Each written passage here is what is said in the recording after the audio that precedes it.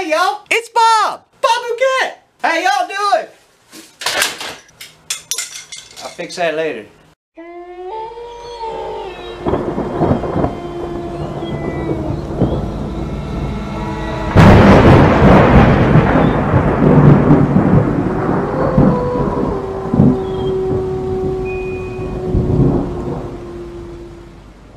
All right, fellas. I won't keep you long.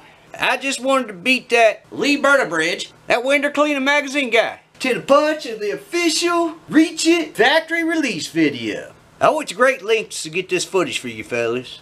I'm not some chump like Bridge. That fella write anything about winter cleaning, as long as it says Reach It. But he isn't one-sided or nothing.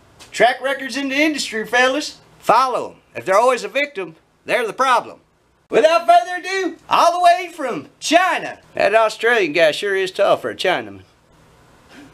Live from the Reach It Factory. It's a dumpster fire. Seems kind of fitting. All right, y'all. Talk to you next time. Bye, y'all.